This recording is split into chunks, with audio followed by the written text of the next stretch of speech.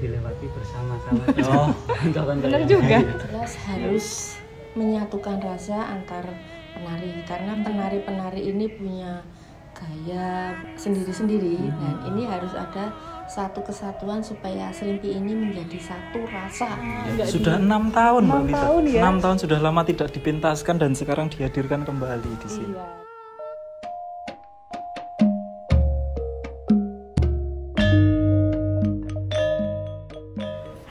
Sahabat Keraton Jogja, Sugeng Rawuh. Selamat datang kembali di YouTube channelnya Keraton Jogja.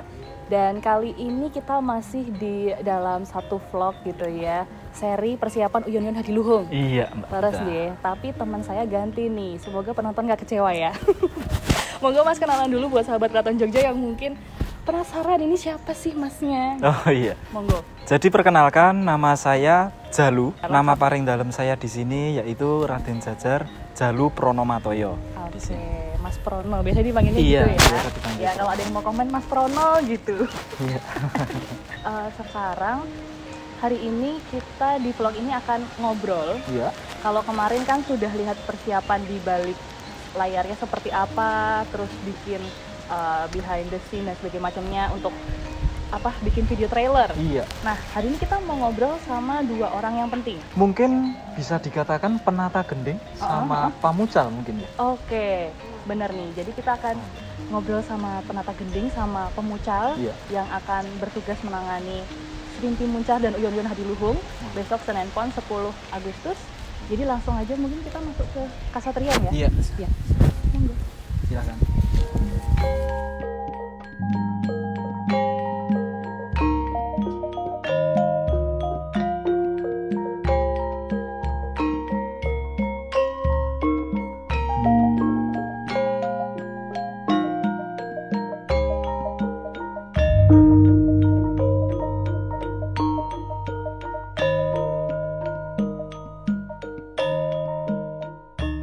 Sahabat Keraton Jogja, sekarang kita sudah ada di Pendopo Kagungan Dalam Bangsal Kasatrian dan kita sudah ketemu nih akhirnya sama Panoto Gending ya. Iya. Nah, mungkin biar kenalan dulu aja. Kenalan sendiri saja. Monggo Mas perkenalkan ke sahabat Keraton Jogja. Selamat siang sahabat Keraton Jogja. Perkenalkan nama saya Sabtono. Asma paring dalem Mas Bekel Brongto Madya.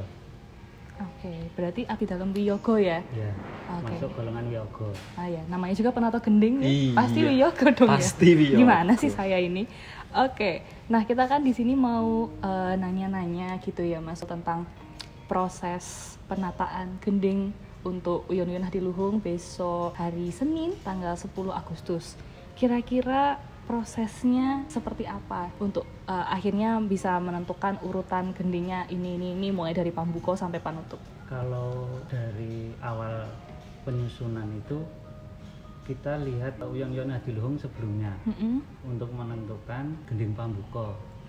Kalau sebelumnya itu Prabu Mataram Selindro Songo Mm-mm. untuk yang Senin tanggal 10 Agustus 2020 besok itu pambukonya adalah Ladrang Rojo Manggolo Oke. Laras Pelok Patut 6 Mm-mm. untuk eh, beksan, soran, lirian nanti bisa berselang-seling Hmm. Larasnya, patutnya gitu. Oke, berarti yang menjadi penentu awalnya itu Ya. eh, dari yang kemarin kira-kira gending pambukonya apa, terus Ya. nanti disesuaikan di setiap union ganti-gantian gitu ya. Nah, lalu ini juga Mbak Vita. Jadi dari banyaknya gamelan instrumen gamelan di sini, adakah kesulitan dari Mas Brongto Madyo ketika menggarap suatu gending untuk Uyon Uyon Hadiluhung? Kalau kesulitan memang harus dilewati bersama-sama. Oh. Bener yang juga. Iya Karena iya iya sifatnya iya. iya. eh, kerjasama pemain katakanlah seperti Mm-mm. itu antara kendang, bonang dan perician yang lain itu harus kerjasama Hmm. saling mengisi saling garapnya dinamikanya gitu Oh, iya. Kemudian kalau dari yang eh, serimpi muncar sendiri kan gendingnya gending muncar ya kalau nggak salah. Nah itu kira-kira dari satu gending itu kemudian bisa menjadi satu tarian, bisa mengiringi satu tarian. Katakanlah menemukan eh, teman-temannya yang bisa apa ya menjadikan satu harmoni di jadi iringannya serimpi muncar itu prosesnya berapa lama dan kira-kira tantangannya apa mas? serimpi muncar eh, ada beberapa versi Mm-mm. tapi kemarin dari pemucal bekso itu sudah ditentukan bahwa salah satu versi yang juga mungkin ya Hmm. gitu.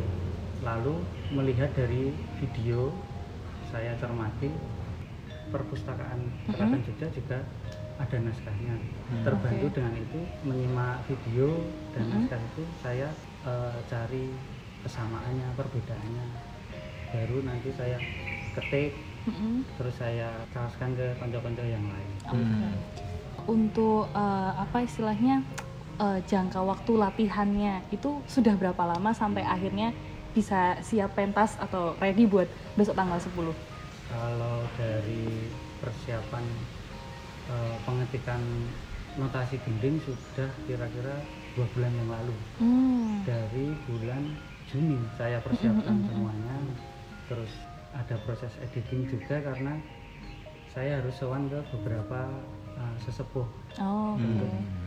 uh, sinkronisasinya Iya, iya, iya, iya, iya. pada dulu terus kalau mulai latihan bersama gendingnya itu mulai dari bulan Juli Hmm. sampai hari ini Berarti habis uyon-uyon yang kemarin langsung start ya mulai untuk uyon-uyon yang bulan ini gitu ya. Iya. Hmm. Berarti bisa dibilang prosesnya tuh berkesinambungan Iya, gitu ya.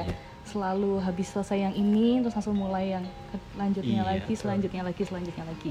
Ya oke, itu tadi kalau pertanyaan dari saya sih cukup ya. Kalau dari Mas Prono, Mas Jalu mungkin mau ada tambahan atau cukup? Mungkin sudah cukup Mbak Vita Oke. dan bagi sahabat Keraton Jogja mungkin kalau ada yang ingin ditanyakan bisa melewat kolom komentar di dalam channel YouTube Keraton Jogja. Oke, tinggal komentar aja Iya. nanti insya Allah, insya Allah akan dibalas gitu ya.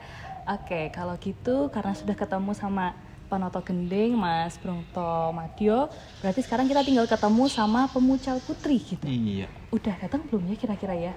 Sempat ketemu nggak, Mas? tadi sempat ketemu coba bisa dicek di mata ya Oh iya, Oh, di sana iya. ya mungkin ya. Iya. Yaudah, Mas kalau gitu kita ke sana. Kita langsung ke sana Matur saja. nuwun sangat. Matur nuwun Mas Bronto.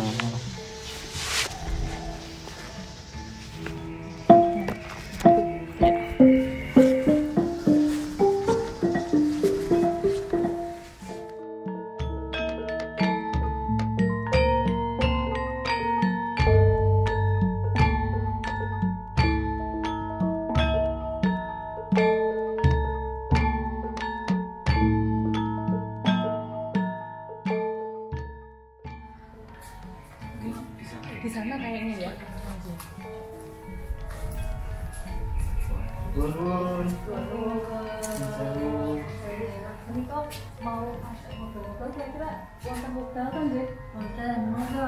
Nggih. Nuwun.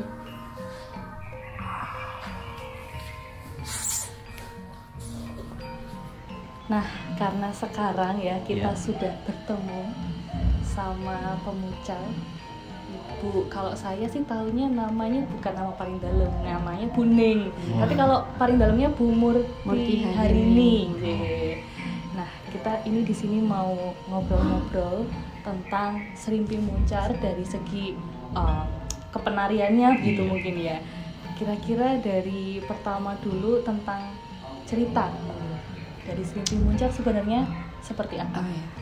Untuk Serimpi Muncar ini mengambil cerita dari eh, Serat Menak itu eh, Menak Cino. Jadi eh, bercerita tentang Kelasworo dan Adaninggar. Dalam fragmen isinya sudah bagaimana Kelasworo akan mengalahkan Adaninggar. Ya. Sudah sangat populer sekali. Hmm. Lalu mungkin di tari klasik gaya Jogja itu banyak syarat akan makna dan filosofi ya Ibu ya. Ya. Mungkin di dalam Serimpi Muncar sendiri apakah ada nilai atau filosofi seperti itu? Ibu? Secara keseluruhan filosofinya Serimpi itu sebetulnya sama. Hmm. yang ada amanah, aluamah dan Iya. sebagainya. Oh. Cuma dalam eh, serimpi ini mengambil gending muncar, Iya. tetapi ada beberapa dari HB 6, 7, 8 itu judulnya eh, macam-macam ada Iya. serimpi Elasworo, Oh. ada serimpi muncar, kalau ada serimpi Cino. Oh, gitu. Nah, dari sini kemudian kita menarik dari HB8 itu serimpi gendengan gending muncar menceritakan dari serat merah. Oh. Kalau filosofinya mungkin dari serimpi-serimpi yang lain sama. Tapi kalau dari segi keunikannya sendiri, mungkin dari sisi gerak atau pola lantai dari muncar ini apa yang unik? Dari berbagai macam serimpi itu punya keunikan sendiri-sendiri. Hmm. Nah, untuk serimpi muncar ini karena mengambil HB8 dari Hmm. HB8 maka untuk kelasworo itu dengan baju bulu-bulu dan Iya. untuk ada ninggal pakai kostum Cina seperti pada fragmen Iya. Hmm. fragmen Cina. Nah, keunikan-keunikan itu ada dalam gerak. Iya. Kalau misalkan dalam gurdo itu biasa ini. Iya. Nah, kalau untuk putri Cina gurdonya ada tawing. Tawing. Oh. Satu, dua, tiga, empat, lima, enam, baru sama sebelah. Iya. Kemudian ada kalah. Dalam Iya. kalah kalau biasanya itu hanya tawing. Iya. Ini usap kemudian kiri. Kalau ini ngelangsur sama. Hmm. Itu ini jadi Oh, itu geraknya namanya ngelangsur. Oh. Lalu mungkin dari sahabat keraton Jogja juga ingin mengetahui dalam proses serimpi muncar ini adakah tantangan-tantangan ibu selama berproses menarikan? Tantangannya itu yang jelas harus menyatukan rasa antar penari karena penari-penari ini punya gaya, punya sendiri-sendiri dan ini harus ada satu kesatuan supaya serimpi ini menjadi satu rasa. Hmm. Chemistry-nya sama kalau sama bareng itu yang sangat sulit itu di sini. Hmm. Itu sangat sulit untuk menyatukan rasa dari empat penari ini. Iya. Apalagi sekarang dengan pandemi yang setiap minggu jarang ada latihan. Hmm. Jadi latihan serimpi muncar juga hanya beberapa kali. Nah ini tantangannya untuk menyatukan rasa itu yang sangat susah. Hmm. Iya, jadi memang uh, tantangannya menyatukan rasa Iya, gitu ya antara satu penari dengan penari yang Penari lain. yang lainnya. Ya. Lalu kalau uh, Serimpi Muncar sendiri ini sudah pernah ditampilkan sebelumnya atau Sudah pernah ditampilkan itu sekitar tahun 2014 apa ya? Oh, Oh. jadi Yang lumayan lama, lama. ya.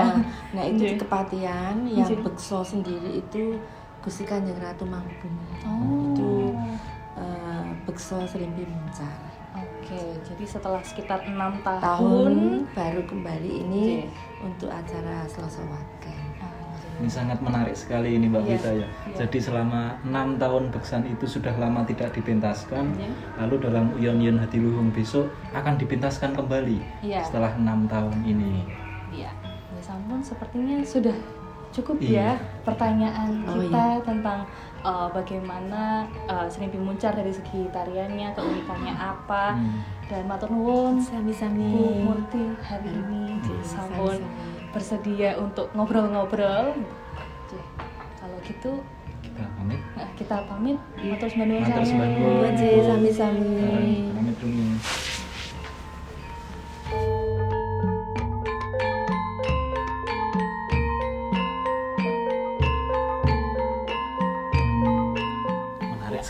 Ya Iya, tadi apa oh. yang disampaikan oleh Panoto Gending Benar. sama Pak Mucal tadi. Benar banget kan variannya juga lama.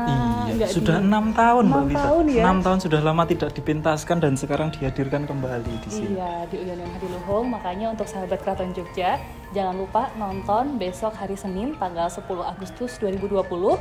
Biasanya dimulai jam 9, tapi mulai bulan Agustus ini akan dimulai dari jam 8 malam ya. Iya. 20.00 sudah bisa dicek di YouTube channelnya Keraton Jogja, bisa mulai diaktifkan notifikasinya biar nggak ketinggalan gitu ya Benar Mas. sekali.